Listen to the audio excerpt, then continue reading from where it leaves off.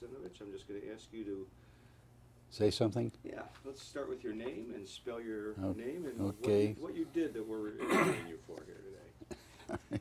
I'm George Zenovich. Uh, the name is spelled G-E-O-R-G-E. Last name is Z-E-N-O-V like in Victor, I-C-H.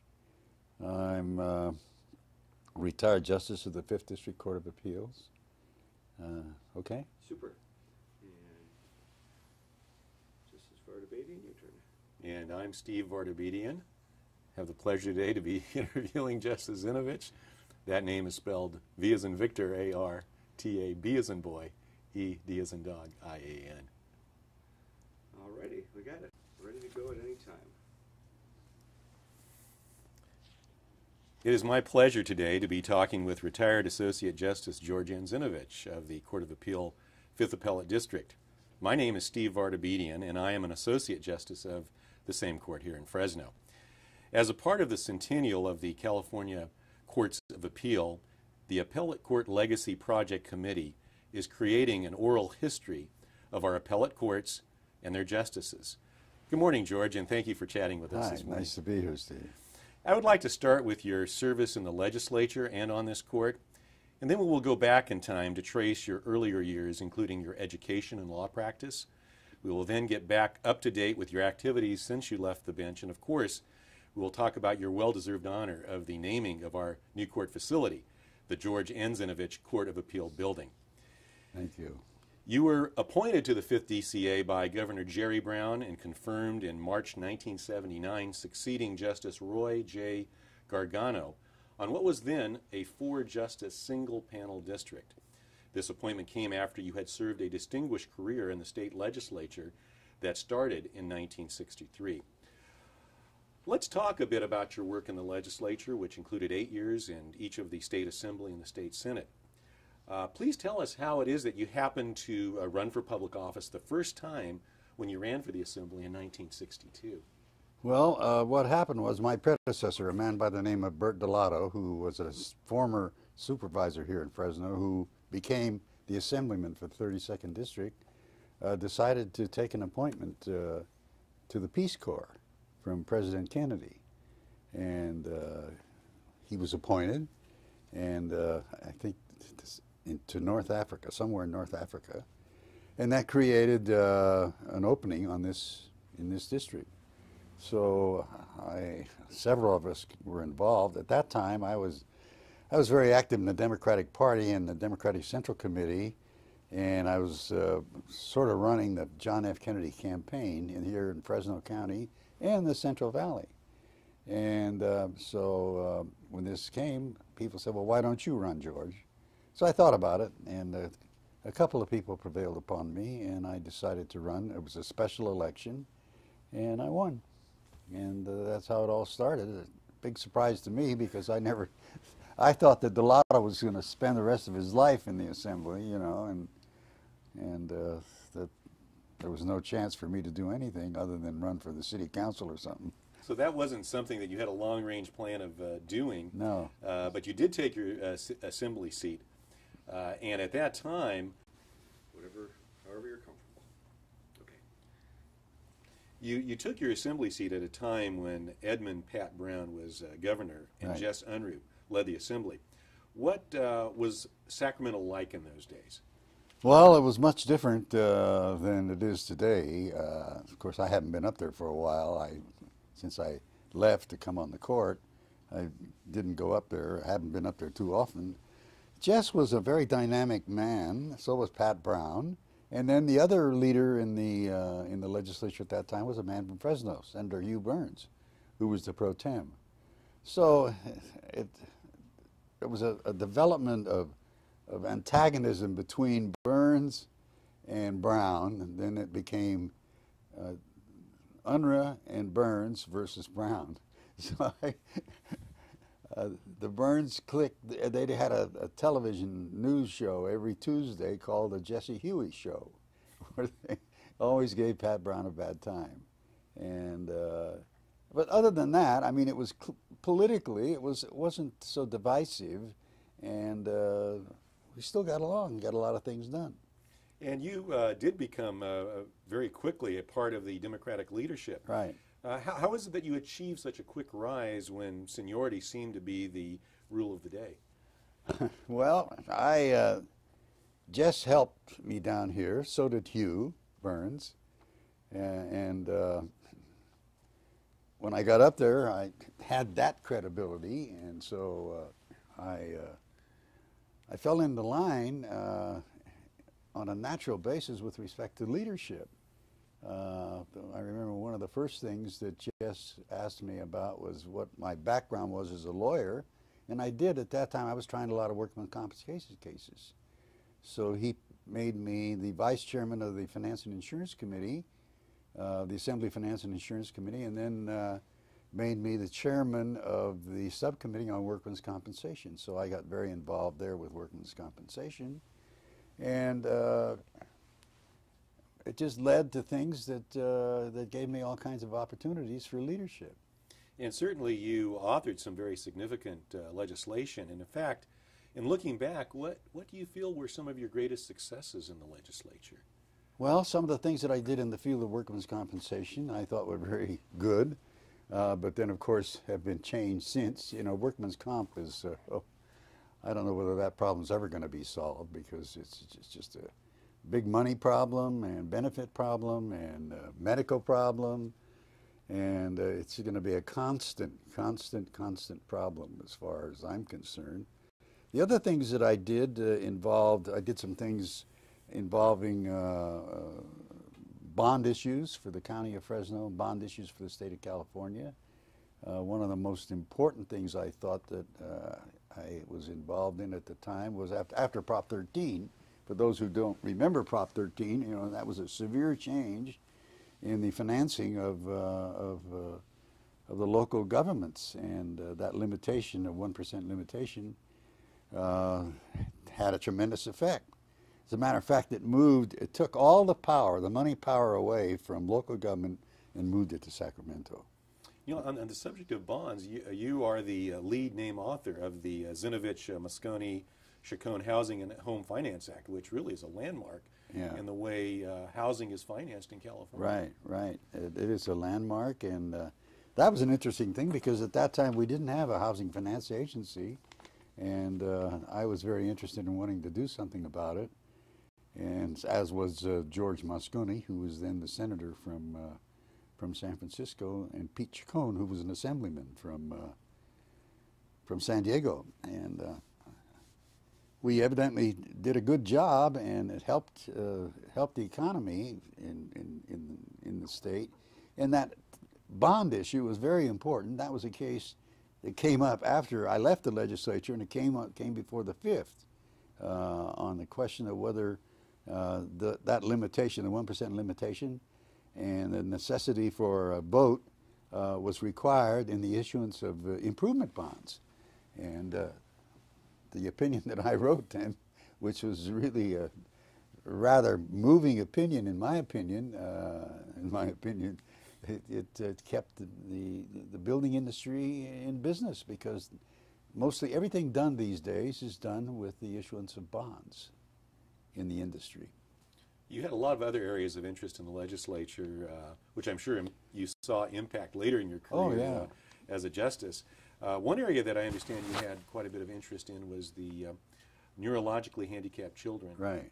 Uh, the funding for the diagnostic school in 1973. That's right. another, another item that you're very proud of. Right. There was a lady here in Fresno at that time who was very involved. She had two kids that were disturbed. And uh, the only way she could have them treated was to either drive to Los Angeles or drive or fly to San Francisco. So she came to me one day. This is really the purpose of, of being a legislator, you know, to draw on the needs that people desire at the local level.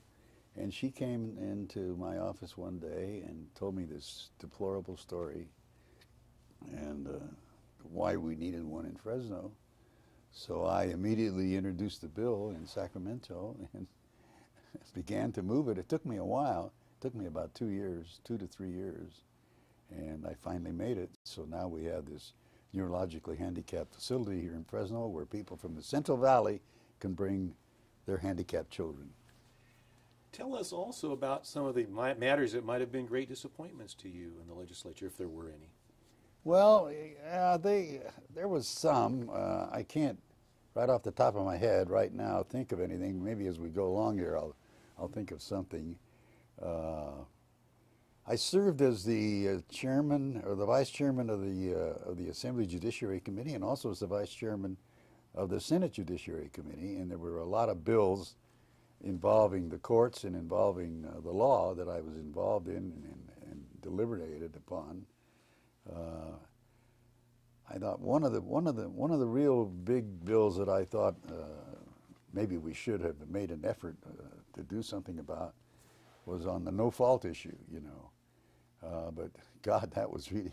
I remember getting letters from young Mexican attorneys saying, "Don't vote for no fault. I've just become a member of the bar, and I want my opportunity, you know, to make a good living with uh, with in the PI business. You know, I mean, very touching. You know, so uh, in that vein, uh, the whole question uh, was sort of became moot. I understand in the area of, of automobile type liability uh, cases that you also have some background with, with the guest statute. Oh yeah, And uh, in fact, you proposed something in the legislature on that, and you had some experience as an attorney. Uh, right, right. That was it. I got a case here in Fresno uh, uh, some years ago uh, that involved uh, the guest statute. At that time, the guest statute, if if you could show, if the driver of the car, uh, or if the guest could show uh, that the driver of the car was either intoxicated or driving recklessly, you could recover. Otherwise, you couldn't recover. So you had to show intoxication or, or real, real heavy negligence. And I tried this case. It was referred to me by another attorney, by a prominent attorney in this town, who didn't think uh, it was worth it. You know, he said, "So Zeno, why don't you go give it a try?" And I did. And I got a verdict. The jury gave me about twenty-five thousand dollars, which was pretty good in those days. And uh, the other side, the insurance company, was really sort of ticked off, and they took it to the fifth, and the fifth took the verdict away from me, and then I took it to the Supreme Court, and the, the Supreme Court gave me back the verdict, so I had to try it again, uh, you know. But that was a very interesting thing. And then when I got in the legislature, I decided, what the heck, might as well introduce a bill to do away with the guest statute. that didn't work either because the insurance lobby had a handle on, on the members of the committee at the time, you know. Well, maybe you're ahead of your time. That's uh, why it didn't quite work out that time. Yeah, but, uh, You had success with that, at, at least at that point. Right. Um, you know, many of your items of legislation obviously have impacted uh, the courts. Um, in the area of, uh, of uh, agricultural relations, uh, labor relations, I believe uh, you had a big impact. Could you tell us a little Right, I was the principal co-author of the Agricultural Labor Relations Act, and that was really uh, an interesting, an interesting fight uh, because of you know trying to put everybody together, and I I succeeded in putting the growers together with uh, uh, the, the production people and, and the uh, farm labor people and what have you, and uh, got the bill to the governor's office. And I'll never forget that negotiation. Uh, we were all in the governor's office uh, putting this whole thing together. And uh, there was only one group that's decided the last minute uh, to uh, oppose us, and that was uh, I, it was the lettuce industry or a portion of the lettuce industry. I forget. Uh, their their lobbyist at that time was named Daryl Arnold, and he he was appointed ambassador to New Zealand or something right after this. I guess it was success in in in, in taking the position that he did. But the Agricultural Labor Relations Act became law, and it's the first act in the country, frankly, on uh, labor relations. And I remember uh, our congressman at that time was really impressed because he was introducing bills every year back there to do something on labor relations, to set up, set up a board or a sub board like the under the National Labor Relations Act. and I remember he had a, a bunch of congressmen out here visiting him from uh, all over the country, and, and he brought this item up. And I'll never forget this congressman from Mississippi says, You'll never get a vote out of me, Mr. Sisk, over my dead body for an agricultural labor relations act. And certainly that was something that was very responsive to your local uh, constituency. Right. There were other times, and maybe on the lighter side, uh, there was uh, something that came about. Um, at one point, the Fresno County Board of Supervisors made a request of you concerning courthouse park squirrels. Uh, could you tell us a little bit about that? Oh, that one I can't, I can't live down. I mean, the Board of Supervisors and a, and a newspaper reporter by the name of Eli Sentensich, who was the courthouse reporter at that time, he's the one that called me and said, hey, Zeno, uh, you know, the drunks are killing all the squirrels in the park. and he says, can you replace them? And I said, oh my gosh. So I said, well, I'll see what I can do. And the Board of Supervisors also made the request. So I went to the park superintendent in the, uh, in the Capitol, and he told me, he reminded me that the squirrels up there came from Fresno. so, so I introduced uh, uh, a resolution to have the squirrels, uh, to have some squirrels removed from the, the uh, Capitol Park and brought to Fresno, and we did it. Flew them down here, had a big ceremony, and now we got squirrels all over the place. We sure do. In fact, I remember uh, seeing photographs of you with a hard hat and Yeah. a squirrel net out there uh, Yeah. getting ready to catch uh, some of those uh, guys up Yeah. in Sacramento. Well, I got letters from all over the country from guys that I served uh, in World War II, that I served in the Air Corps with, you know, writing me. It's because of the AP picked this up. It was a big story, and there was one guy from Alabama wrote back and said, "Zeno, I always thought you were a squirrel anyway." You know, there's, there's another story about you I'd like to uh, uh, recollect a little bit about with you. Um, it was, in fact, at the time that uh, uh, then Governor Reagan was uh, making plans to uh, build a governor's mansion away from uh, the city of Sacramento. That's, that was something that you uh, posed. And I understand that the governor left a message for the lieutenant governor uh, when, uh, when he was about to go out of uh, state. Uh, do you remember what that message to the lieutenant governor said? Well, that was addressed to Robert Finch, who was the lieutenant governor, as I recall, and the message was uh, to authorize the uh, pouring of the cement for the new for the new Capitol uh, house or the whatever, and to put Zenovich in the cement. yeah, that, that, that, that I don't would have the foundation laid with you, you yeah, was, yeah, lay the the foundation idea. with Zenovich in it. You know, Um, he really fact- had a sense of humor on that one, and that that started a hell of a relationship between the two of us over the years.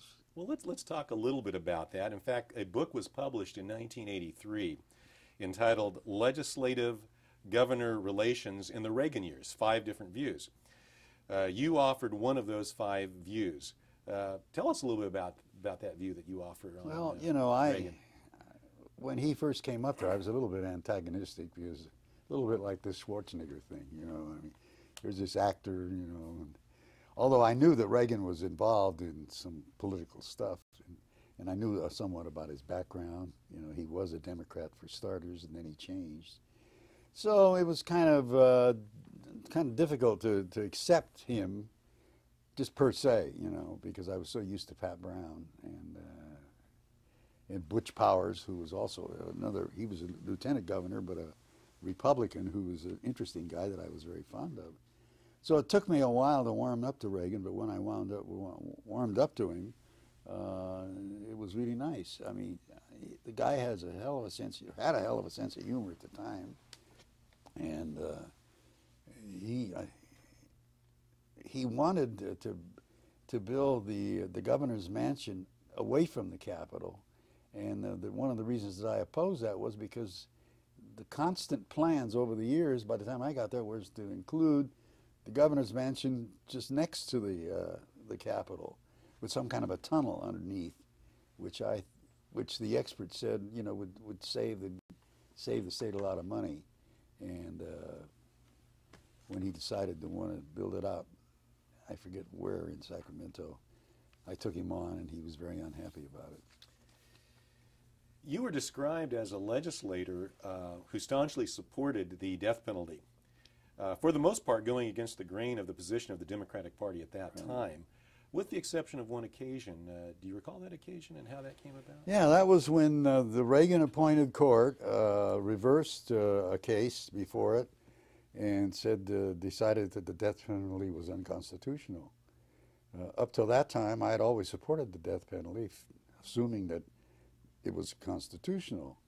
And it was a, it was a written by the, the Chief Justice at that time. I forget his name, but he was an appointee of um Governor Reagan.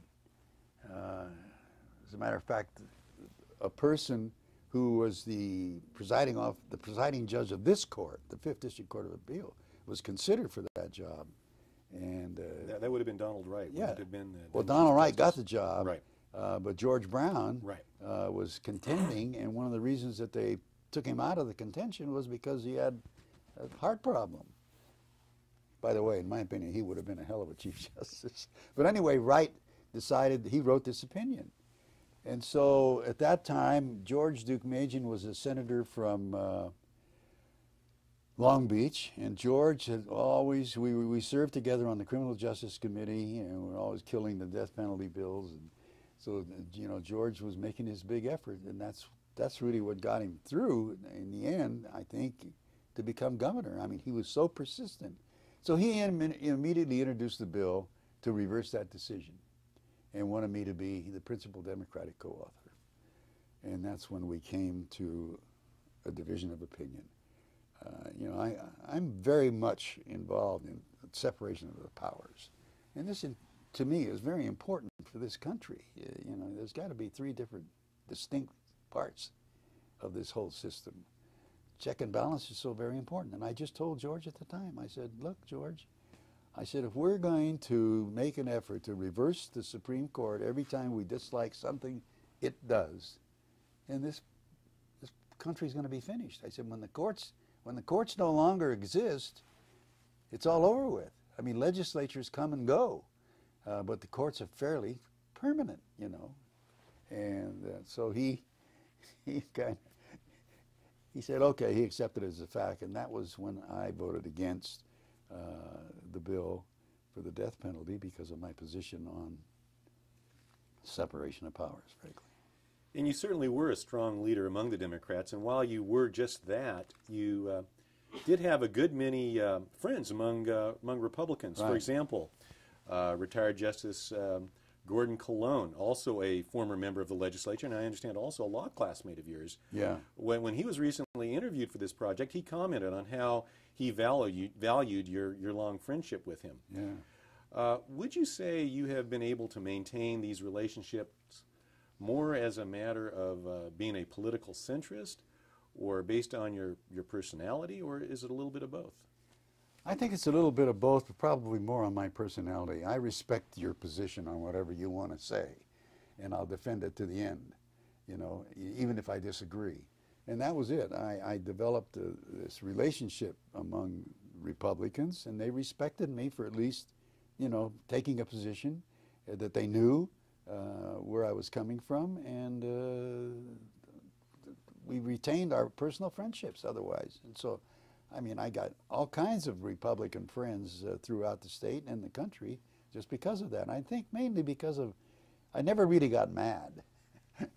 I mean, today, you know, when you look at the what's going on, in, well, mostly in Washington, I mean, the, the positions have been polarized and people are screaming at each other. It's awful. It's awful. And you can't, you know, I, I get a kick out of every time somebody addresses a congressman or a senator back there, they refer to Your Honor, you know, or, uh, I mean, with respect. But when, when it comes to talking to the press, I mean, they're clobbering each other. And uh, we didn't do that then. When you went going back to that Jesse Huey show thing, I mean, uh, you know, we took our beasts out of the legislature and told the press what we thought, and that was it. You know, a, a lot of the things that you did, as, as we've already talked about, impacted the courts. But I understand there was a particular time that the legislature was contemplating splitting the third appellate district into divisions. The third district, just like the fifth, Yeah. uh, has no divisions. It's it's one court of a number of justices, and it was then. And that was a move that was opposed by then presiding justice of that district, Justice Robert Puglia, a staunch Republican. How is it that you came to Bob Puglia's aid in that matter? Well, That's another question. When you, uh, how, to, how I interacted with Republicans. I mean, the minute, the minute this man walked into my office, I knew I was going to like him.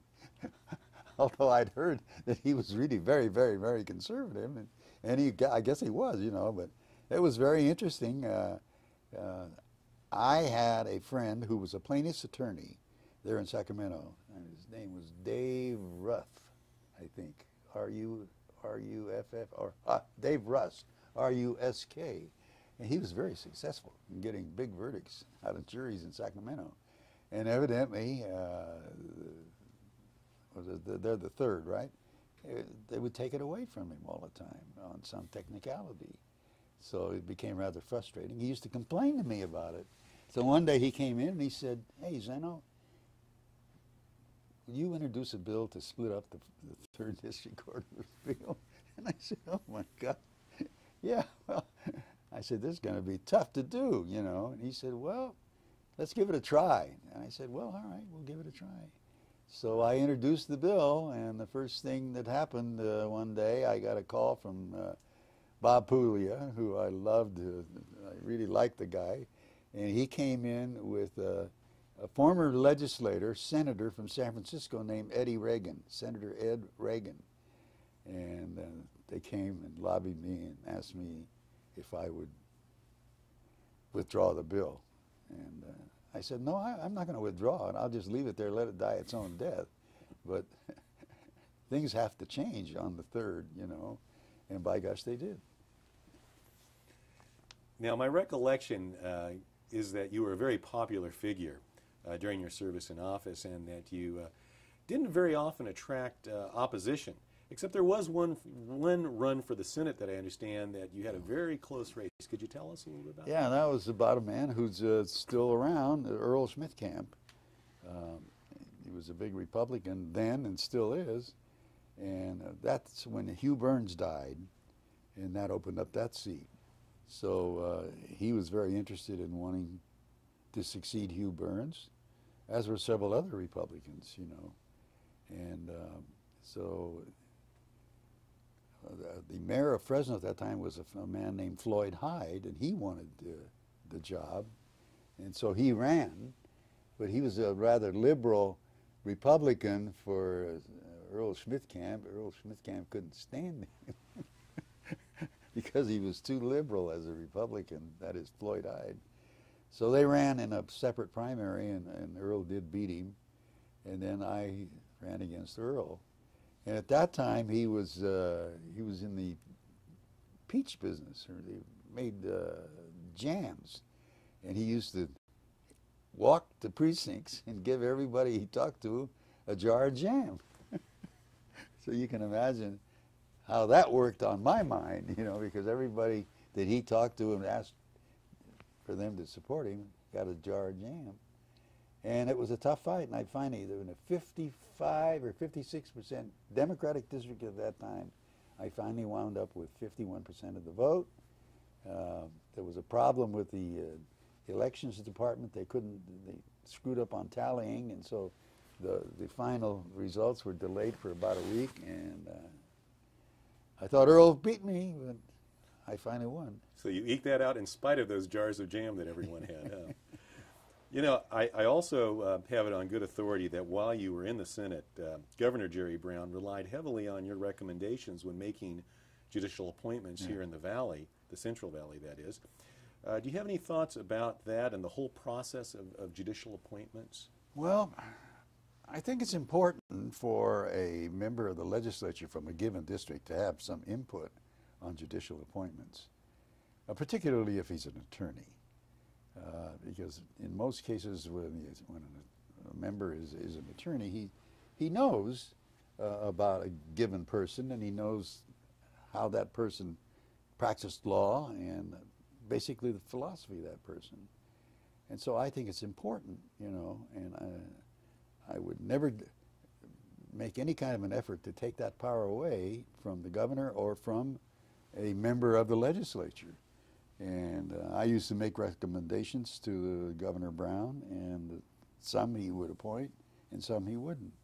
Uh, but you know, I think that's a very important thing that to this day uh, has to be carried on. Now, if the governor is relying on somebody else in his office, uh, you know, then then I then I question it. You know, but uh, I think it's important for the legislature to have, for a legislator to have some impact.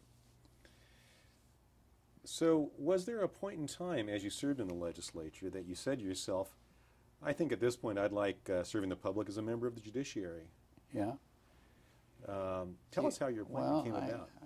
I, I, was very involved as the uh, uh, vice chairman of the Senate uh, Judiciary Committee. So I was involved in all the major legislation over those years that came out of the legislature. And uh, that sort of led me to want to have a career on the bench, if at all possible. And because, uh, you know, being a member of any given body, after all, becomes old hat. and so I, I, I guess I was getting a little bit frustrated with the legislature, although it changed hands several times while I was there. And so I decided to make an effort to uh, make, get an appointment to the fifth. And uh, I did, and I was successful. And I'm very happy that I did because I met some fantastic people here on the fifth. At that time, there was only four members.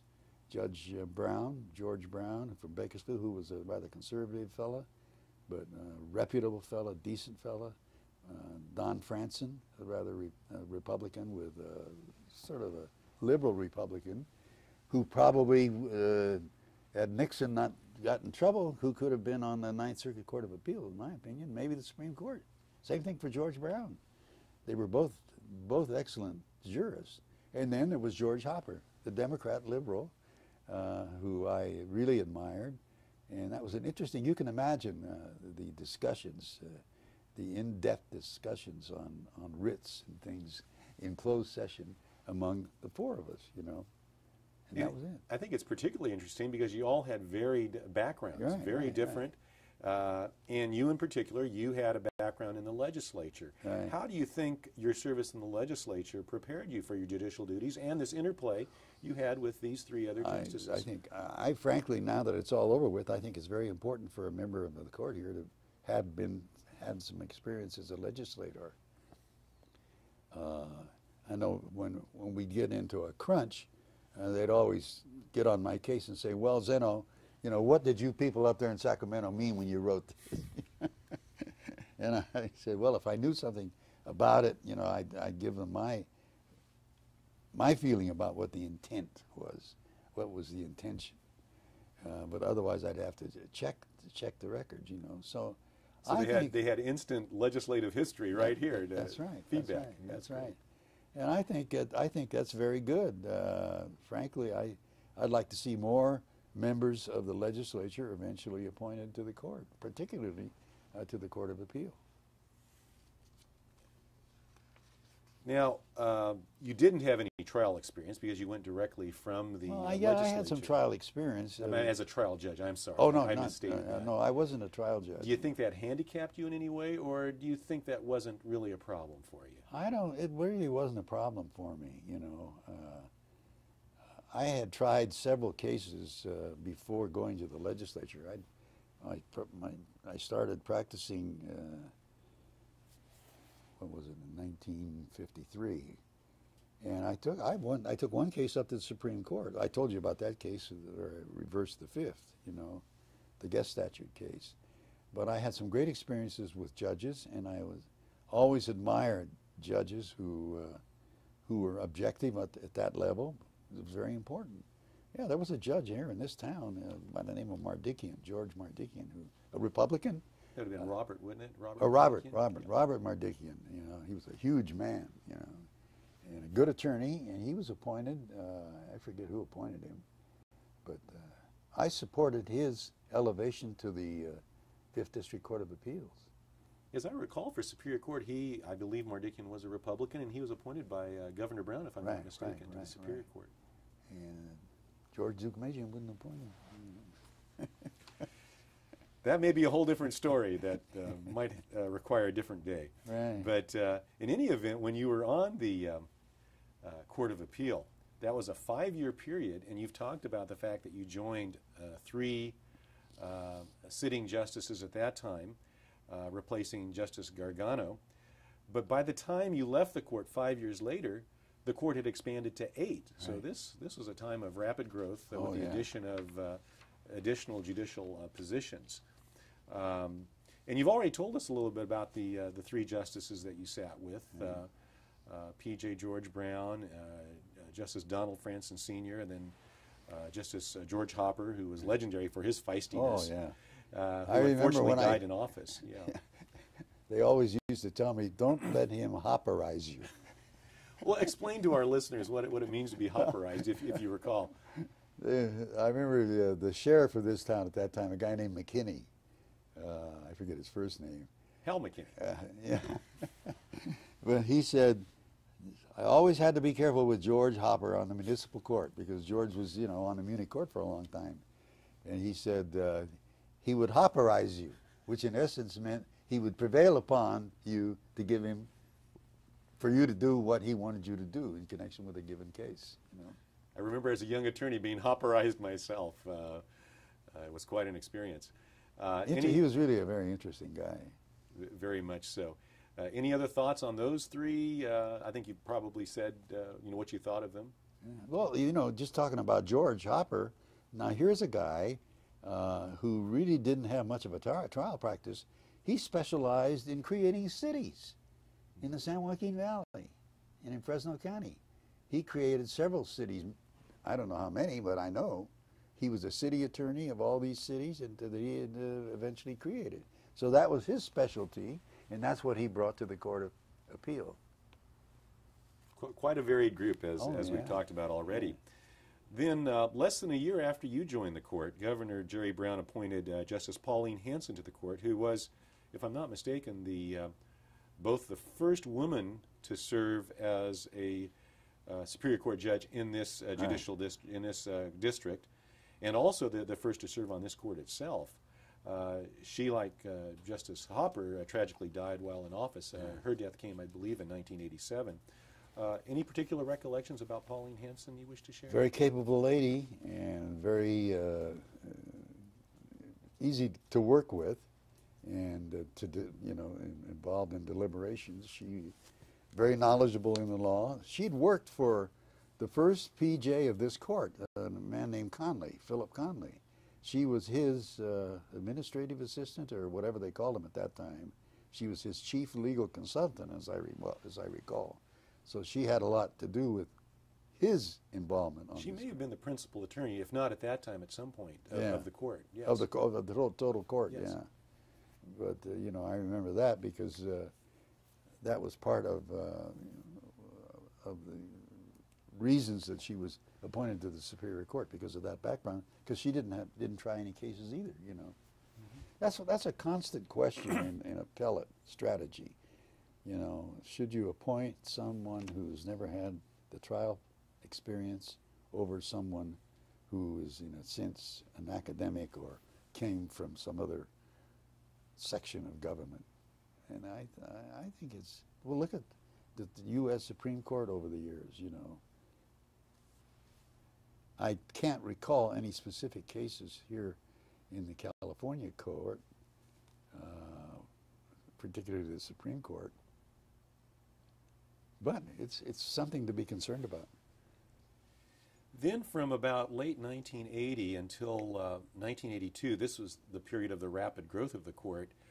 Uh, four new members came on the bench uh, Justices Ken Andreen, Wixon Wolpert, uh, Charles Hamlin, and, and Robert Martin. Uh, any thoughts about um, how that affected the operation of the court, basically doubling, or, or any of the additions well, of these that's in effect what it did. It just uh, doubled the in, doubled the uh, input and output of the court. New new faces, new people, and uh, you know it, the, the PJ had more work to do with, with more people, and uh, he was uh, really a very capable guy and knew how to how to separate the, the, the various panels uh, for the various issues, you know, which was very important. I remember in that context, you know, I told you about the Agricultural Labor Relations Act, and I was one of the principal co-authors. When I came here, that court, that case, the constitutionality of that statute was filed in this court. And uh, George Brown, at that time, uh, decided that uh, he picked a panel, and the panel consisted of himself, uh, Don Franson, and me. And I remember the uh, uh, the Chavez folks, you know, the they decided that they didn't want me having anything to do with that case because I was involved in the deliberations in the legislature. So they challenged my status uh, as a member of that, of the three, you know. And they, I, I refused. I decided that I wanted to do it. I wanted to rule on it. And uh, had the encouragement of George, uh, George Brown and Don Franson. And the, case went all the way to the Supreme Court. And the Supreme Court sustained my position. I didn't have to recuse myself. And in the end, the decision was a three zap decision finding the Agricultural Labor Relations Act constitutional. I came across a, a daily uh, journal profile on you. I think it was published about in 1982. And uh, you're described there as one not regarding yourself on your job or your job with much pretension. Uh, in fact, I think that was the description you gave uh, the particular uh, writer of that, uh, that article, that profile. Uh, any changes in that perspective as we sit here 24 years later? No, still the same. Uh, even when I put that robe on to conduct a marriage ceremony, I'm still George. you know, and that was one of the things that used to disturb me from time to time, sitting with various people. Once they put that robe on, they change. You know, not me. Maybe that wasn't a good thing or something. I don't know. Well, I think I think that has served you well throughout your your uh, various careers. Um, now, let me ask you this: of, of the cases uh, that you have authored, any any favorites? I know we've talked about some of them that you've been involved in, but do you have any favorite cases of those? Well, God, it's been such a long time. The Bond case is probably one of the most important, in my opinion. I remember uh, the reaction after that because that literally kept these folks in business. Yeah, that would have been uh, County of Fresno versus Malmstrom, I believe, Yeah, uh, that's the 1979. Uh, That, that certainly was a case of big impact because you had the Proposition 13 and Right. governments, and I think you already described this to some Right. extent, governments uh, with very limited funding, and this allowed special districts uh, in bonds. That's right. Uh, to issue those bonds without a vote. right. Uh, the other thing that was I, I, I was in I, the, the, the California Housing Finance Act was another thing that I was very proud of, and uh, it was I would say that was one of the one of the pieces of legislation that I'm most fond of. The other thing I carried, you know, I used to carry a lot of little things that people never really concerned. When I was in the member, when I was in the assembly, uh, a family flying from Oregon down to the Bay Area in an airplane uh, crashed. And uh, I remember that, that was my first year in the legislature. And uh, a daughter, one, there was the mother and the father and a daughter. And the daughter survived.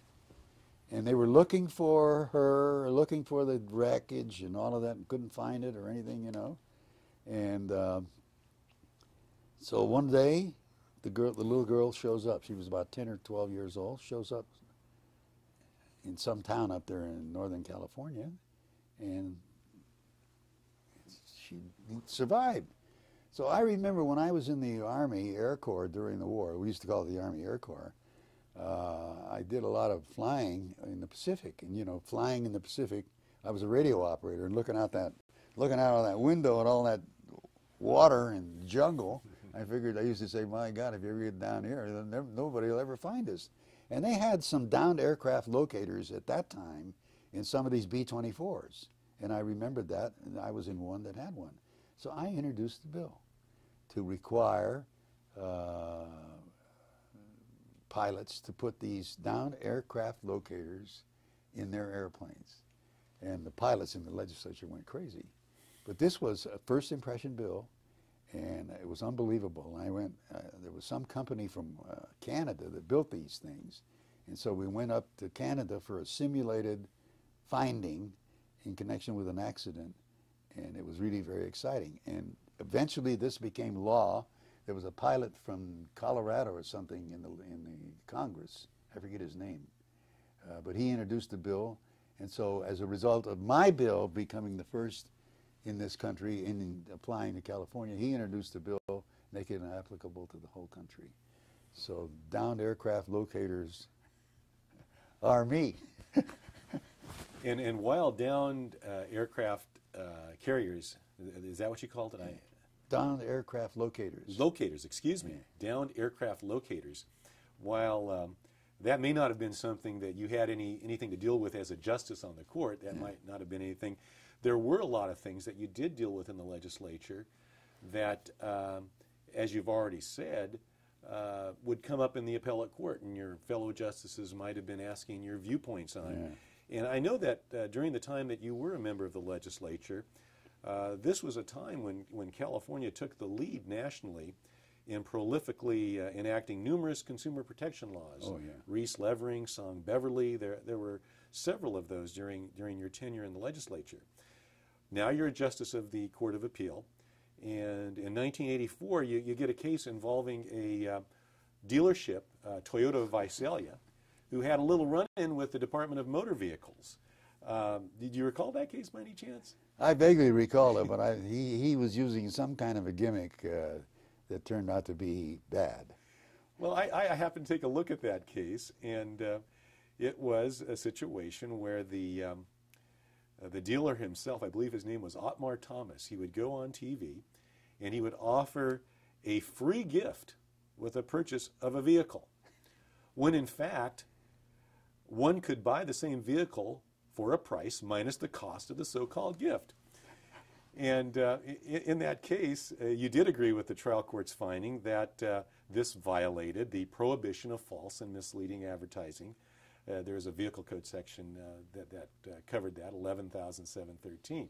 But I guess my question is do you have any particular thoughts about consumer protection laws and the fact that they are enacted and the courts are called upon to, to enforce them? Very much so. It's very important uh, to uh, protect the rights of consumers, and the court is the last resort. I mean, if you know, if you if you think you've been had, uh, you've got to file an action and uh, make an effort to have it decided. And that's the way I I felt about it as a member of the legislature, and even when I came up here, I remember that case. That was an as a matter of fact, I think that case came out of George Mardikian's trial court eh, when he was a trial judge. But I remember that guy advertising on television. It was uh, phony, you know. So there's got to be a check on this kind of activity, and the court is the proper place. That's why when I told you early on, once the courts go in this country, it's all over with, as far as I'm concerned. You have some very strong feelings there Very, about the separation very of powers. on separation of powers. And, And uh, I don't care whether the courts are conservative or whether they're liberal. It doesn't make that much difference. And to me, someday when somebody's watching this and listening to this, who knows what the status of this state and this country might be in that in that connection. It's very important to think about this because that that that line is a very thin line in my opinion, you know, the constitutionality issue. It's a very thin line. It could go one way or the other. You talked a little bit about this, uh, having been a primary author of the Agricultural Label, Labor Relations Act. That's a mouthful to get out all at once, the ALRA, uh, and how uh, even though you actually enacted this legislation, that, that you were uh, uh, asked to recuse yourself, and, and you did stay on the case that you mentioned. There, there was another case in, um, in 1980, Dan Tudor and Sons versus the ALRB, that reversed the ALRB's finding that the employer had willfully engaged in a pattern of wrongful surveillance of farm worker employees.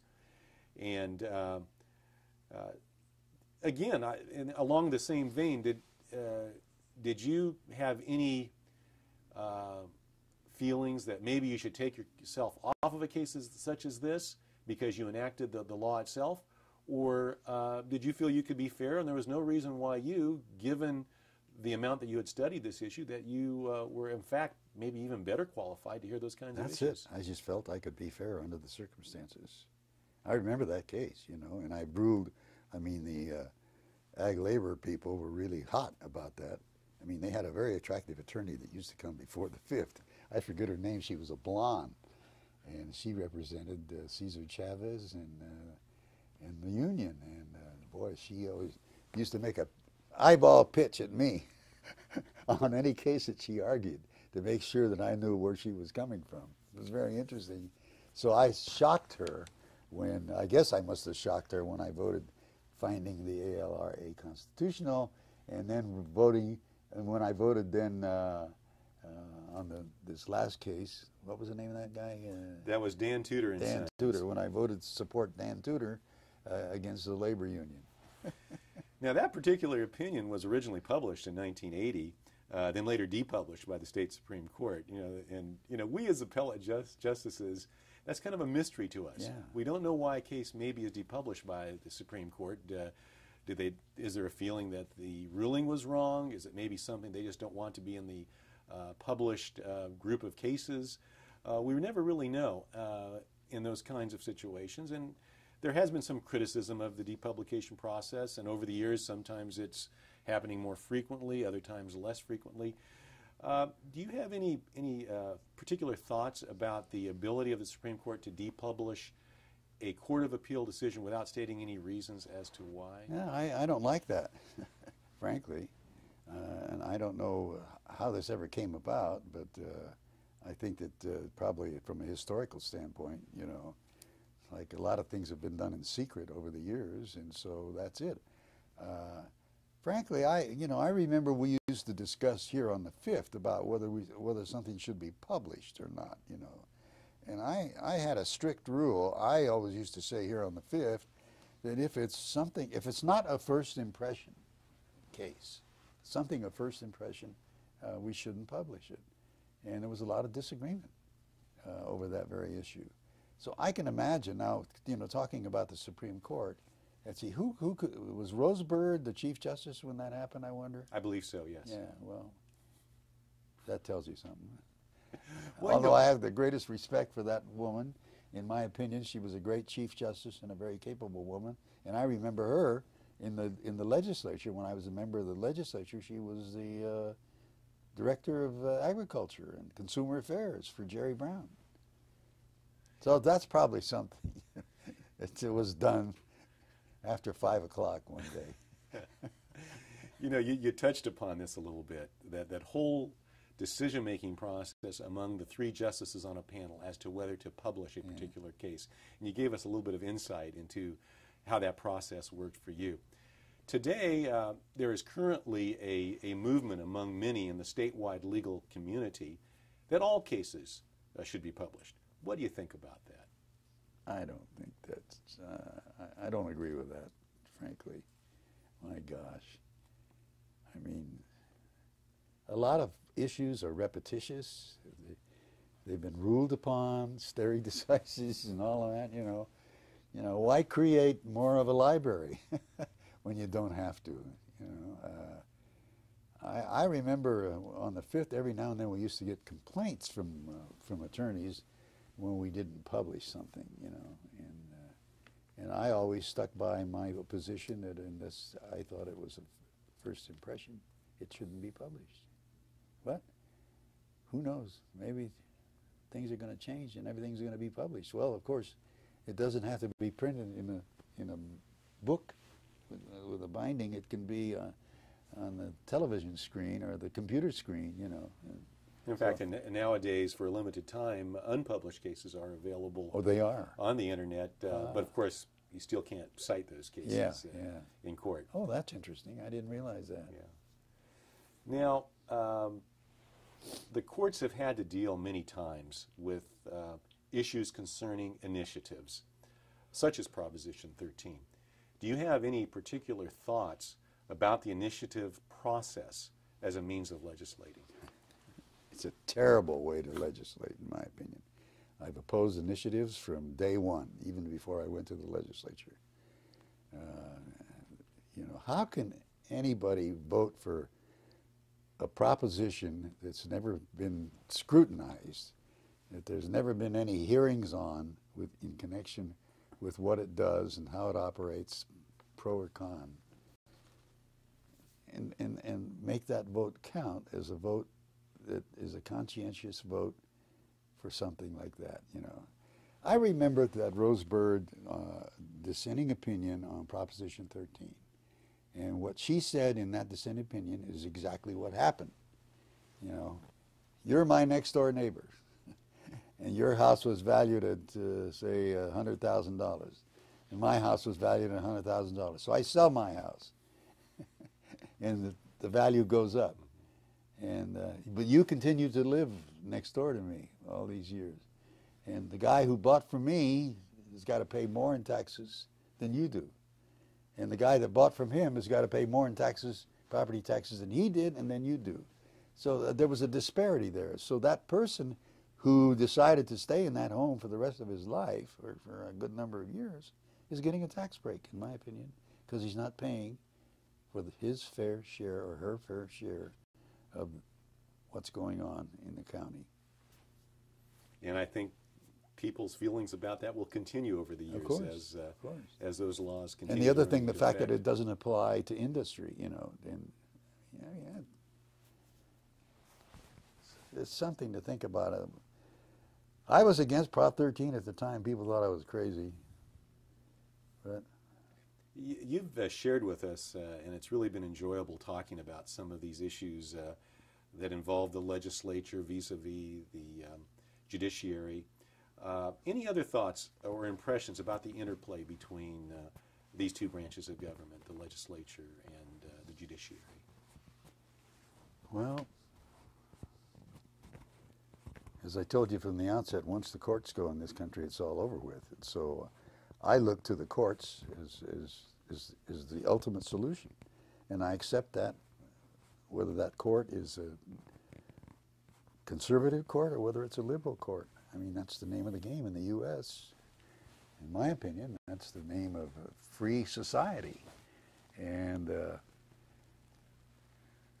I just hate to see people in constantly introducing bills to reverse the decision of, of a Supreme Court, you know. But then who knows whether I'm right on that. Uh, I can imagine that those debates eventually will be so significant, you know. And they'll say, for example, well, there was only nine people on that court that decided, or only seven people on that court that decided. We're here in, in California in the legislature, and, the, you know, we got 80 people that can decide one way or another, you know. I mean, it's it's going to be tough, and that's why I want. That's one reason that I'm against initiatives.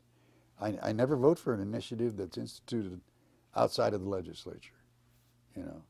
And it, after all, when you think about it, Hiram Johnson, who was then the governor, I mean, the only reason he did that was to break up the railroad monopoly. The railroads in this country own the state of California. And that was his reason, because he could never get a legislator to vote against the railroads because of the lobbying and the money connections. It's a very interesting bit of history. Thank you for sharing that. Uh, let me let me take you back to that, that 1982 Daily Journal article that I that I looked up and read a little bit about you. Um, the um, the writer of that article evidently introduced, uh, or excuse me, interviewed two uh, attorneys who had appeared in court before you, and he gave somewhat different, uh, got somewhat different views from those two individuals. One said you had an engaging personality and great common sense. The other said you were an intellectual leader of the court. How would you describe your, your strengths as a jurist? I was just a common sense guy. I'm no intellectual. My wife doesn't think I'm intellectual at all, you know, and others. I just, uh, just it was a common sense type of thing, and maybe that involves being intellectual. So be it, you know. I think But this takes us back to you not being pretentious about Yeah, it anyway. yeah, uh, yeah, yeah. That's very refreshing. Um, what did you enjoy most about being a jurist uh, during the time you were at the Court of Appeal? Well, when I was on the Court of Appeal, frankly, uh, when there were just four of us here, uh, this court was a delightful court. The camaraderie was fantastic. And uh, I remember even though George, George was kind of conservative, and he was a, you know, he came from a, uh, that big firm in Los, in Bakersfield that he helped farm, and they, I guess they represented a lot of defendants. the, the he Bort, Borton Petrini firm, I believe you're referring to. Yes. And uh, you know, he didn't like uh, these plaintiffs' lawyers. and he used to always give them a bad time, you know. And here were you, a plaintiff's lawyer, right? So we had a mix, you know. I'll never forget some of those discussions. And George would say, "Oh, he's lying,". I said, "No way." So we had a mix on cases, and I'll never forget. It was just it would depend on the panel, whether it was George, Franson, and me, or J- Hopper, Franson, and me. I, I wish I could have um, uh, been, been a fly on the wall during some of those discussions that the uh, four of you had. We had there was an very interesting writ guy up here at that time named Don Horvath. Do you know him? Yes, Is he still around? Don Horvath is still around. He's had some cases in our court within Really? recent years, yes. Kind of a snob, but God, what a bright guy! And he, I guess he he, he replaced Eric here, didn't he? Or, or no, Eric replaced him. Is that Yes, it? Yeah. yes. Our current uh, uh, principal writ attorney Is uh, replaced uh, Don Horvath, Horvath, and that yeah. and he is still here today. Yes, Eric Walden. yeah. Well. Eric, kind of a quiet guy, you know. But I remember that uh, Horvath used to get into big arguments with us, you know, with with George Brown or me or Hopper, and we'd have it out, you know. But I guess, I guess Horvath would lose those arguments. oh yeah. Well, sometimes he won. he did win a few, huh? Uh, On that subject, uh, did Stop you just Yes. for a minute, because I George Deukmejian, because he could have been on the Supreme. He could have been the chief. Absolutely. But that in that infighting, George was mad at him because he voted. He gave Coleman Blease an approve for the Third District Court of Appeal. Yeah, yeah. Puglia was another guy that, that could have well been. we're ready to continue. Okay. Well, here I'll put this back. I'll take that for you. Let, Anytime. Let me ask you this: What do you think has changed the most in our courts since you left the bench in 1984, bringing it up to today? What What do you think has changed the most? Well, it's hard to say.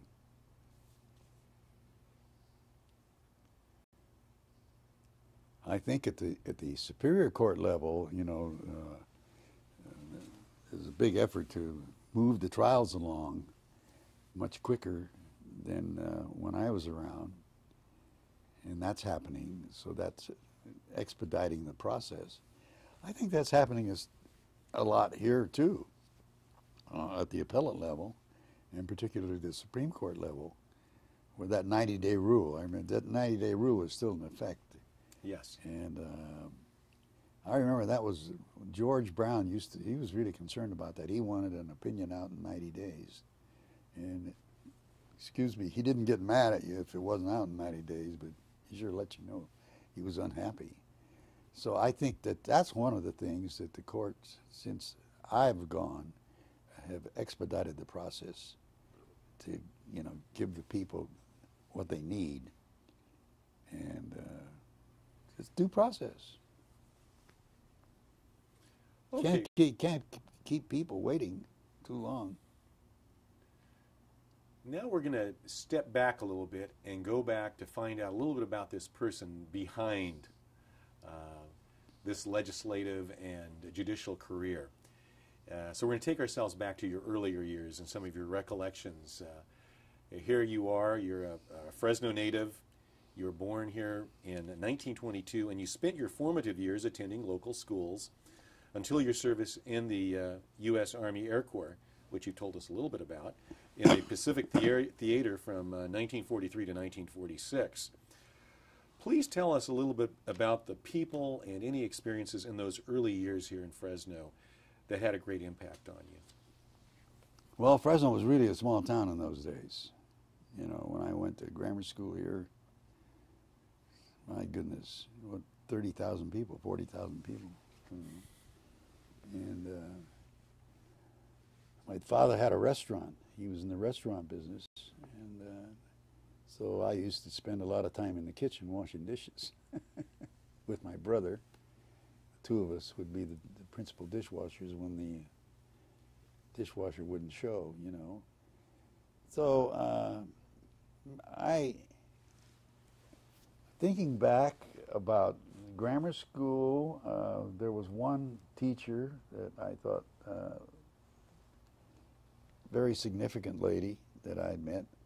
Her name was uh, Mrs. Brown, and she uh, she had a tremendous influence on my life. And then when I went to junior high school, uh, I was involved in music. You know, I, I played the violin as a, as a younger kid, and so I played in the All City Symphony or orchestra. And a woman that I met there, her name was Guguyan, Alice Alice Guguyan. She was a lovely lady, musical teacher, taught music at Washington Junior High School and then later at Fresno High School. Tremendous influence on my life.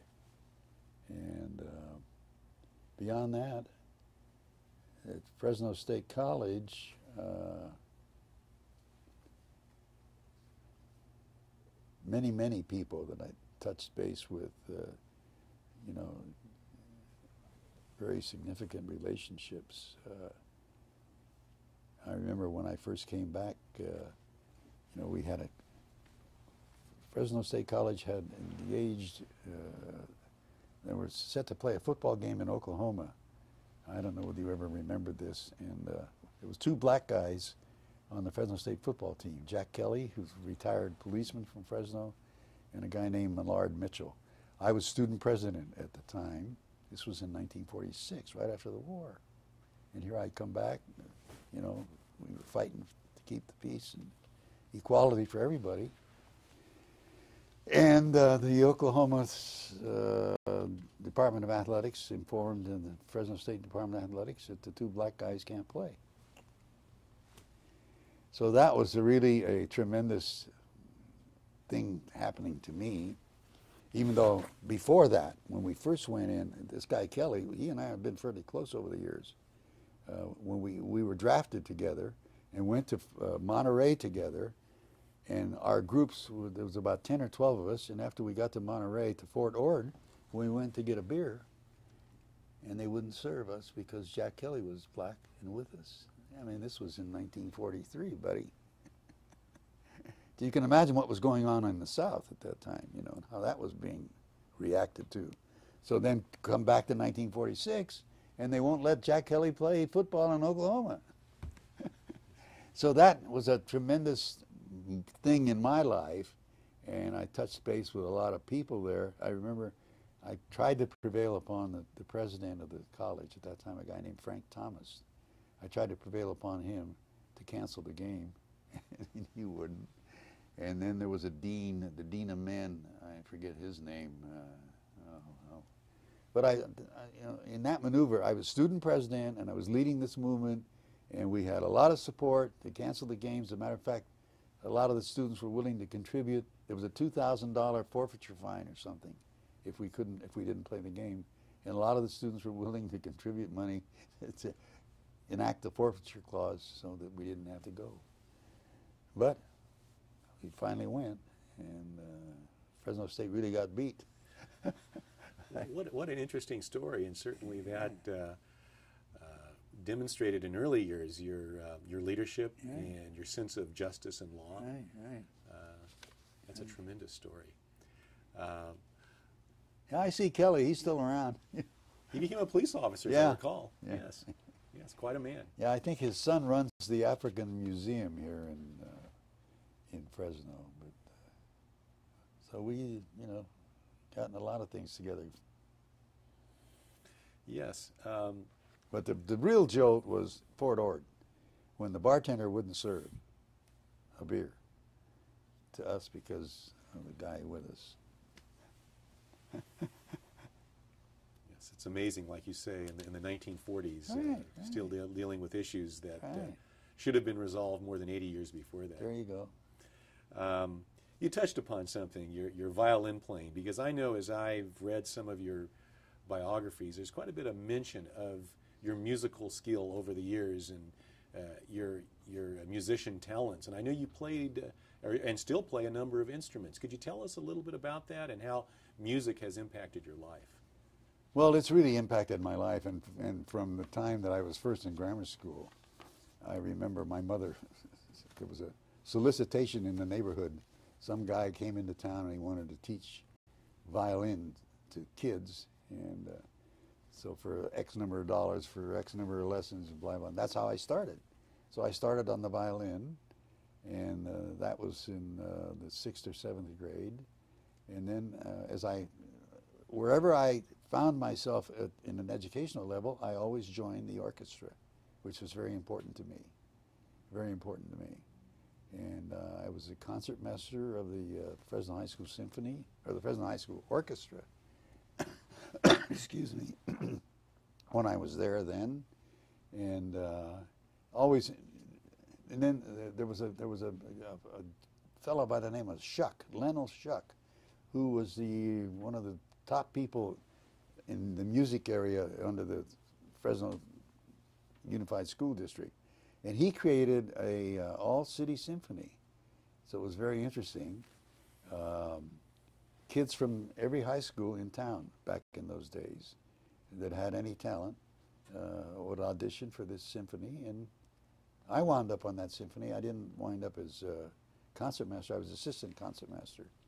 But then I remember some students from Edison, some students from Roosevelt, uh, you know, from other schools. I don't think, what's the name of this new high school out here? The Bullard wasn't even in existence then. So it's been a part of my life, and, and I think that it's had a lot to do with my makeup and my thinking capacities. I remember, uh, I don't remember the, the, precise philosophy of Shuck, but he always used to say, you need, you need to know something about music because music involves counting, you know, uh, and uh, it'll help you with your math. it was very interesting. This guy, you know, how he, how he made music a part of your life as a student to augment whatever you were thinking about doing. Then when I went to Fresno State College, uh, there was a man out there, Dr. Berdahl, uh, who was uh, the head of the music department, and uh, he wanted me in the symphony, but he didn't want me as a violinist. He looked at my hands and he said, "You got big hands, George. Those are viola hands." and viola fingers. And he said, you got to play viola with us because we need some more violas. We got lots of violins. So that's what happened. I started playing the viola, a lovely instrument. And at the same time, I got involved with the string bass, uh, which really sustained me in my later years uh, in law school. Uh, because in Los An- I'm a life member of Local 47 in Los Angeles when I went down to Southwestern down there. I joined uh, Local 47, and uh, you know, I remember the guy that I was living with in those days. He was a student with me. He's a lawyer in Oakland now, and I remember he was pumping gas on the weekends at a standard station there in Los Angeles for just for the sake of the comparison, say ten dollars a weekend. And as a musician and a member of the local musicians union in Los Angeles, I was working a weekend for twenty dollars. Good money in those days, yeah, huh? Yeah, yeah. So you've told us, you know, that you did attend uh, uh, Southwest, Southwestern University right, Law right. School after you returned home from the war and finished your degree at Fresno State. Uh, what most influenced your decision to study law? I guess my dad. I really didn't know what I wanted to do. I think basically I wanted to be a musician. I think that was my underlying desire. What did your dad have to say about that? He didn't like that. He didn't like that. Coming from Europe, you know, musicians are gypsies. Unless you're a classical musician, I guess, you know. So he didn't like that, and uh, who knows? Maybe things would have been much different. So that's how I decided to, to go into the law, and uh, here I am. Maybe some of those experiences at Fresno State maybe uh, Yeah. some of the issues of uh, justice and equality. Oh yeah. That, that might have had an influence, huh? Yeah. Uh, I understand you had some very interesting travels not long after you graduated from law school and passed the bar. Uh, could you share some of those experiences with us? Yeah. Well, when I came back uh, after I passed the bar, uh, you know, I, I, I, the usual thing here in Fresno at that time was to go to work for the DA. But I came back when the DA there was a big campaign, and I supported the wrong guy. There was a guy I supported a guy named Stanton Levy, and the DA at that time was uh, Clark Savory, you know. And, so when I went to see Clark about a job, he says, "No, you were with the wrong guy." I mean, that was a good experience for me. It turned me on, you know. It's, it, it gave me some idea what it, when you take a position politically like that, what it, the consequences are going to be. So then I wound up uh, in the solo practice. Now, what was your question again? I, I, I was asking you, I, I know when you came back to Fresno, uh, you decided you'd do a little traveling before oh, you got yeah, deeply yeah. into the practice. So anyway, yeah. you know, I was around for a couple years, and I saw at that time none of these attorneys were ever going anywhere on vacation. They were working around the clock. You know, I remember a guy named Gasper Magarian. I mean, I used to follow Gasper around because he was a probate expert. That guy worked 24/7 then, you know. And so, you know, I said, my God, maybe I, before I really get involved in this, I mean, look at what these other guys, these other guys are not going anywhere, not even going to Vegas, let alone LA or San Francisco. So uh, maybe I better, or Europe. So I decided save up some money and go to Europe and see, go to Yugoslavia where my people came from, and sort of visit uh, visit my family and the heritage and, and see what where I came from, you know. Yeah, I guess this was during 1953, 1954, yeah, during that yeah. time. Uh, I understand that uh, your travels took you to The Hague. And You Yeah. spent a little time there as well. Right, right. I went. Uh, I went. Uh, it was a very interesting trip. I went on a. Uh, it was a German steamship with, uh, no Greek with a with a German crew, and the first stop was in Ireland at Cobh, Ireland, and uh, that's when I remember I, I, I, I met a Catholic priest on the ship, and he talked me into getting off the boat. I was going to go to Bremerhaven and then take the train from Bremerhaven to uh, Montenegro, Yugoslavia, where my aunt was waiting for me. She waited for me all summer. but I got off with this priest in Cobh and then stayed in Ireland, kissed the Blarney Stone, and then went on to England. And in England, I met a, refugee from Yugoslavia uh, who was sort of a third cousin or something who was there with his family. And he said, Well, while you're here, why don't you try to get it, uh, go to school here, you know? And I said, Well, I don't know whether I can do that. I don't have the money. And he said, You don't need any money. And then he said something about The Hague. And uh, so that's when I began making inquiries. And uh, I went to The Hague. And that was an interesting summer uh, at The Hague. And uh, At the International Academy of Law there. The International Academy of Law. And then uh, at the end of the summer, I found my way down to Yugoslavia, and my aunt gave up hope. She thought I was never going to make it. She thought you would never make it there, but once you did make it there, uh, I understand you met a young lady there. Could you tell us a little right. about her? I met a young law, so she had just graduated from law school at the University of Sarajevo, and we met on the beach, and that's how it all started. She is now Mrs. Zenovich, is Yeah, that right, correct? And she, she has been for, 50 some years. okay. More than 50 anyway. More than 50, 50 plus.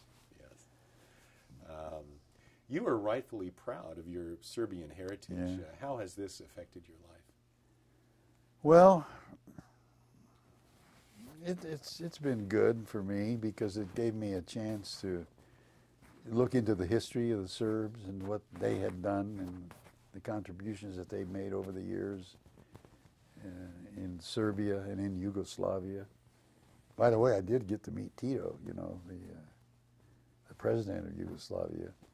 I was on a couple of delegations, and uh, it's it's had a tremendous impact because my frankly I couldn't. My first language was Serbo, Serbian, what they call it Serbo-Croatian at that time. And I when I first went to Lowell Grammar School, I couldn't speak English, but just a very little bit. And uh, my principal language was uh, Serbian, so I had to change that. So uh, it's had a, a big influence on my life. After all those travels, it was time to get back to the practice Time of to get back and go to time to work. get down to business. Yeah. Tell us a little bit about your law practice, what it was like. Well, when I first came back, like I told you, I tried to get a job with uh, with Clark Savory, and he turned me down. So then it was just a question of doing something on my own, and uh, that's what I did. I opened up shop on my own in the Security Pacific building, and uh, in those days, the you, uh, the there was no public defender, so the judges used to hire uh, the younger attorneys, guys right out of law school. I think it was for twenty for a plea, twenty five dollars for a plea, and fifty dollars a day for uh, trying cases. So I, you know, worked on that, and then I got involved with a young developer uh, here in Fresno. His name was Alan Prazy, and he um, really developed the whole North End before anybody else was at it. He was a good friend of Max Hayden. You remember Max Hayden, Yes. who's the attorney here? And uh, he got me involved in, in setting up these special districts, like water districts and street districts, and lighting districts. There was a lighting district uh, issued, and I read about in the Bee the other day. The people didn't don't want to pay the uh, the fee anymore. I Fresno formed that- area, yeah, yeah. I formed that lighting district back in 1962. Uh, They didn't call me and ask me what I thought about paying the fee it was all about, but I, I formed it. It was it was one of the first lighting districts in the state of California, and I remember it was very interesting because John Bonadelle was a developer, and he had a guy working for him named Ed Cashin, and together we walked the beat to get people to sign to form this lighting district. And I was surprised when I picked up the bee and said they wouldn't pay seventeen dollars a year to keep the lights on. Isn't that something? So that took me to another area. So I began developing some real estate law, and then uh, it was just a general practice. Whatever came in, if I thought I could handle, I, I could, I would handle it. And then that gave me some insight, uh, among others, attorneys in town. One of which was Bob Sears. As a matter of fact, the guest statute case was a case that went to Bob Sears first. So I got a lot of referrals in those days, and Bob sent me that case. So I had a mix, you know, some personal injury, a little bit of probate, a little bit of land development, and a little bit of criminal law at $25 a plea. I, I think you've already largely told us uh, about how your your early practice affected your life as a jurist. Uh, any other comments you want to make about that? Uh, any impressions other than we've talked about the guest statute, the former guest statute? Uh, anything else that that um, left you quite an impression that affected your, your, your life as a jurist? Consumer issues, I think that was the most significant. I used to have people walk in, you know, and explain situations to me that were deplorable, consumer situations.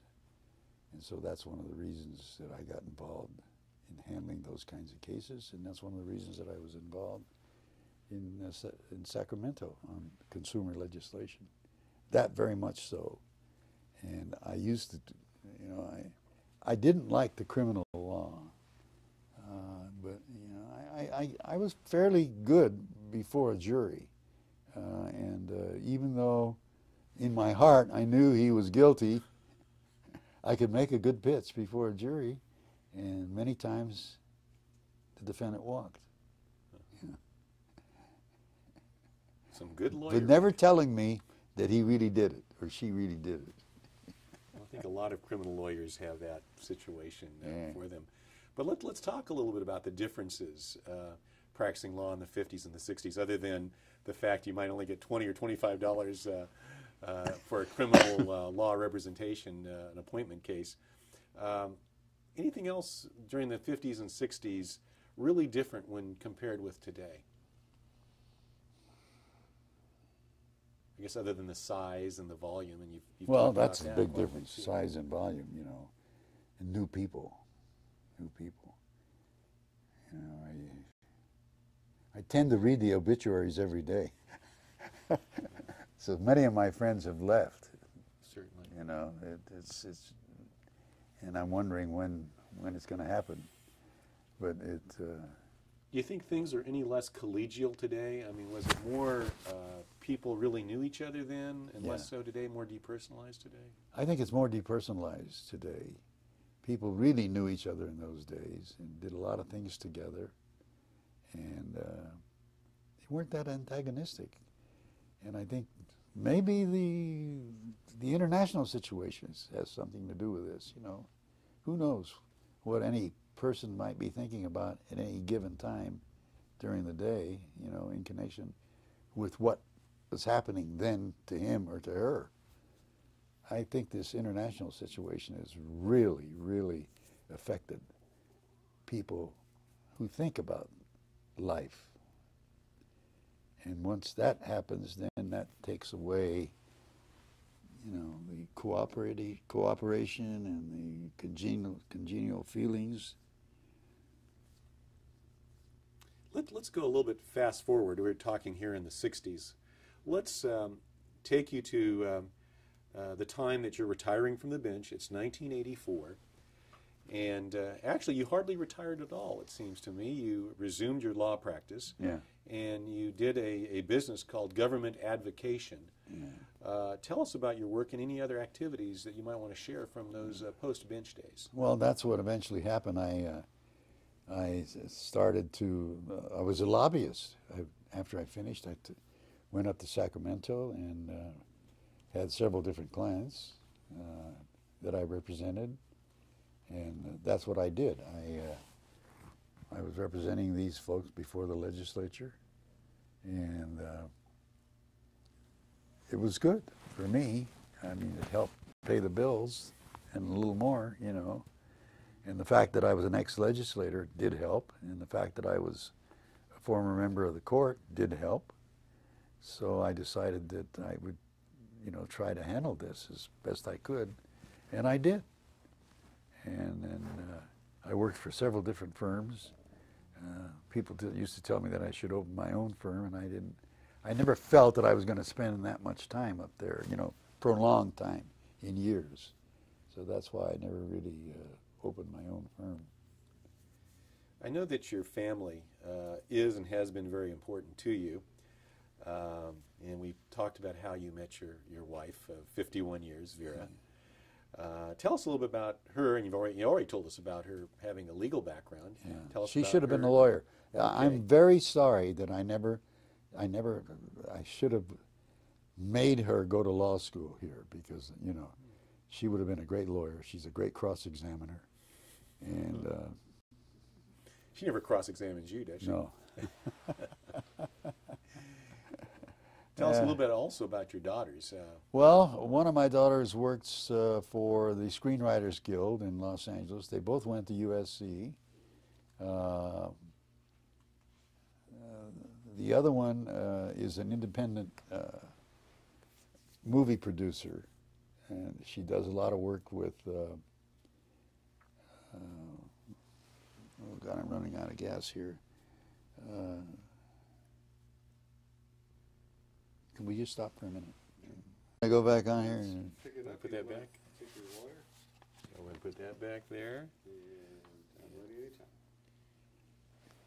yeah, Marina is a, a documentary filmmaker, and uh, she's doing one right now on uh, what was his name? I told you, the Frenchman, uh, the movie director, I think you're thinking of Roman Polanski. Roman Polanski. Right, right. So uh, she's had some success doing this, and uh, she's married to a, a writer from London, England. So she has an interesting life between Los Angeles and New York and London.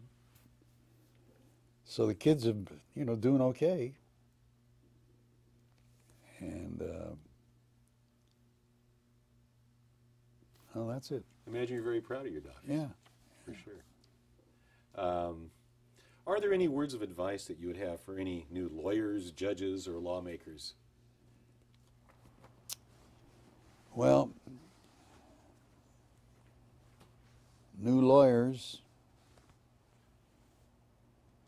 I remember uh, when I first started in the legislature, I was advised to listen and not talk.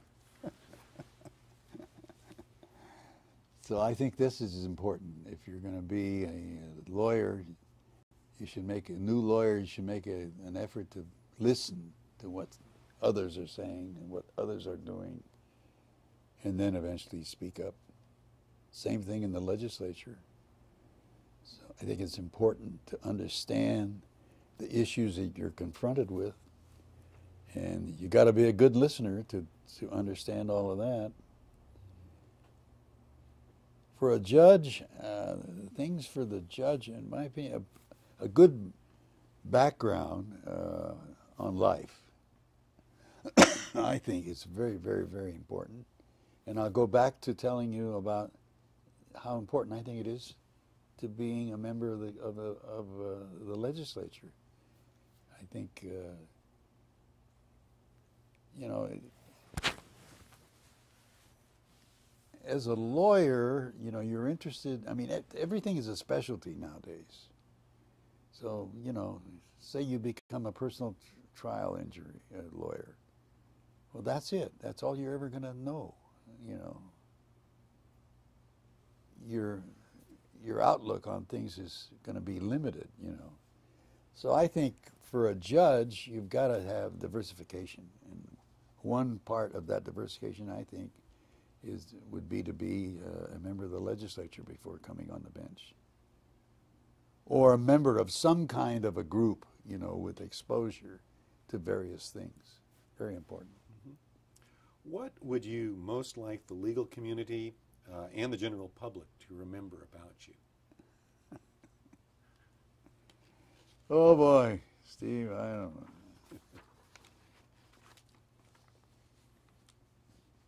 Well, the George was a fair guy, decent guy, and. Uh, judicious guy. Somebody said to me the other day, You're a peacemaker, Zeno. So maybe that's what I should say in response to this. That maybe people should think of me as a guy who tried to make peace among people. As a part of your legacy, uh, as we've already mentioned, the new Court of Appeal building in Fresno, a beautiful structure currently under construction just a short distance where we're sitting here right now, will bear your name. What were your feelings upon learning of this tremendous, well deserved honor? Boy, I was really honored. I was really honored. And when I got the word, I was called by a woman who was an assembly person, Sarah Reyes. She was the one that called me right off the floor of the assembly to tell me that this happened and I didn't I didn't have any idea of what was going on or that it was cooking, you know, that it was part of an effort by some people that I've worked with around here. So I was really, really, really shocked and I was very happy.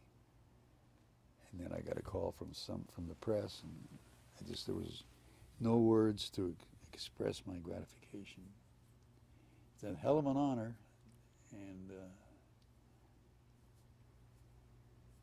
I'm glad that I've lived up to it all of these years. And certainly, it's quite a tribute to uh, a splendid career that yeah. you've had uh, in the legislature, uh, in the courts, yeah. And uh, as a human being. Right. And uh, I just want to thank you, Justice Zenovich. Uh, this has been a very enjoyable time for me, talking with you, learning more about you. And thank you for your time and candor and your 23 years of uh, distinguished public service. Thank you, Steve. Maybe the next time I see you, you'll be sitting on the Supreme Court. then I'll have someone to go up to and talk to.